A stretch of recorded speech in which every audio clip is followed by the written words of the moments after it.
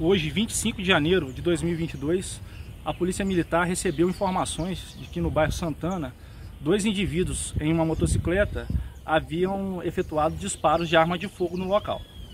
Diante da informação, as equipes do turno eh, montou uma operação por toda a cidade visando localizar esses autores, sendo que em determinado momento eles foram visualizados na BR-262, eh, sendo então iniciada uma intensa perseguição é, que culminou na prisão dos dois autores e apreensão de uma pistola calibre 380.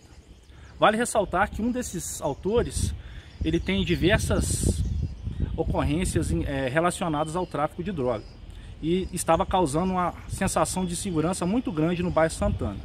Contra ele também existe um mandado de apreensão e posteriormente ele será encaminhado para um centro socioeducativo.